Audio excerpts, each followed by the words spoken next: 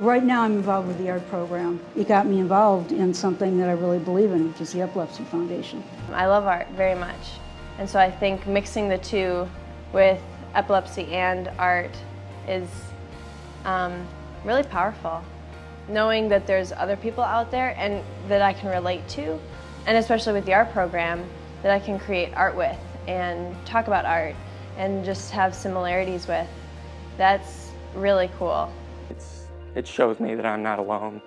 I'm not the only one with the epilepsy around here. I've got more pals to hang out with. It's very important for me to do artwork because I'm able to put my whole self into it.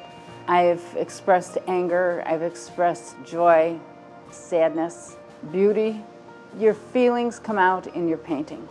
Being involved in the art program, able to do the angry type of piece that really says says it for me is is for people to please give me a moment because I've lost moments. And then the other part is the creative part with colors and shapes and I'm free.